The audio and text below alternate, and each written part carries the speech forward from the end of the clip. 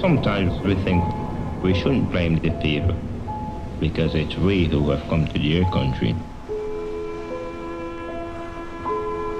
On the other hand, we think, well, if they in the first place had not come to our country and have spread a false propaganda, we would never have come to theirs. If we had not come, we would none be the wiser.